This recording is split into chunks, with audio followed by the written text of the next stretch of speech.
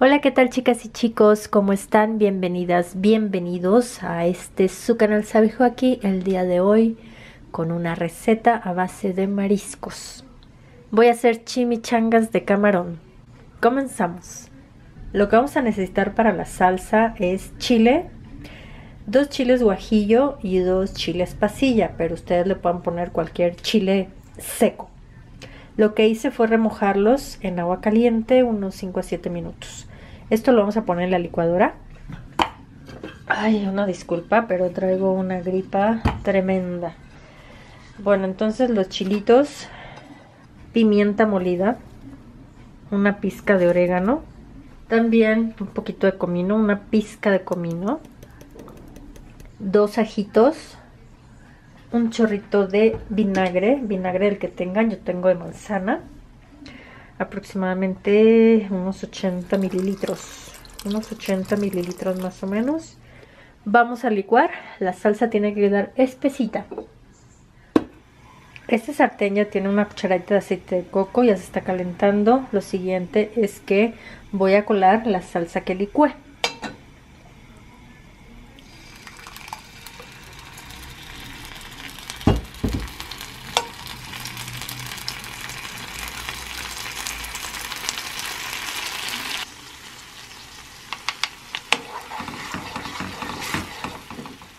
Bien, ya que tenemos este molito o esta salsita, lo siguiente es que le voy a agregar unos 100 gramos de camarón, de camarón pacotilla.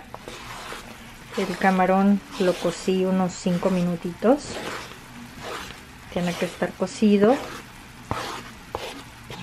Y además le voy a agregar papa y zanahoria cocidas en cuadritos.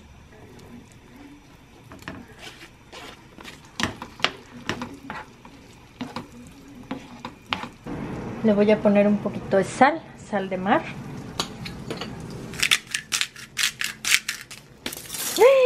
¡Ay, no! Después de este penoso incidente, pues tuve que limpiar primero y luego ponerme nuevamente a grabar. Así es como quedó el... ¿qué? El guiso, el guisado. Ahora lo que voy a hacer es calentar tortillas de harina porque las chimichangas son de harina. Entonces, frijolitos, frijolitos, nada más una untada. Y les vamos a poner nuestra mezcla. A mí me gusta que estén tan llenos, ya sabían, ¿verdad? Entonces, más o menos así. Les vamos a dar un doblez primero así y luego otro así. Un doblez primero así y luego así y luego así.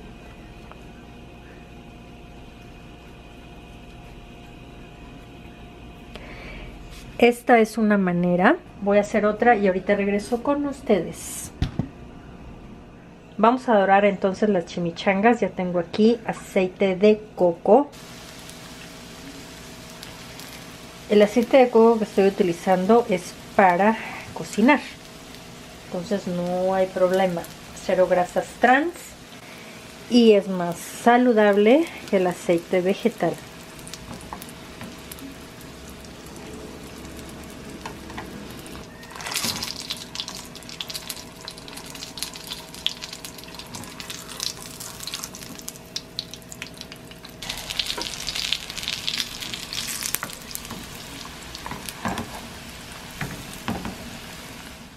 Bien, chicas y chicos, ya casi terminamos el platillo. Lechuguita, lechuguita romana. Voy a poner también este pico de gallo que hice, que creo que sí está picosito. Lo voy a poner aquí. Para darle una presentación a mis chimichangas. Bien, ahora se ha llegado el momento de probar estas ricas y deliciosas chimichangas. Así es como quedan por dentro. Ustedes les pueden poner más relleno. Yo así lo voy a dejar. Ay, se me está haciendo la boca. Aprovecho. Mmm, mmm. Delicious, delicious. De veras, amigas, amigos. Esto es una maravilla, es, la hostia, como dirían los españoles. Puse varias veces eh, la chimichanga en la servilleta para que absorbiera el aceite, pero de veras que no está grasosa. No se siente grasosa a diferencia de que se los hubiera hecho con aceite vegetal, pero ustedes decidanlo con qué aceite lo pueden hacer. Bueno, hasta aquí. Voy a seguir comiendo estas chimichangas con gripa y todo. Aprovecho para desearles un feliz año 2016, que se la pasen en compañía de familiares, amigos, mucho amor en sus corazones, mucha paz, nada de guardar rencores, eso no es bueno, que tengan muchos éxitos en este año, que los cumplan, eh, que cumplan eh, todos sus objetivos, todos sus propósitos, todo se puede lograr si uno se empeña en hacerlo. Bueno, me despido, les mando muchos besos, hasta la próxima, bye bye. ¿Qué les pareció? Bueno, ahora se ha llegado el momento de...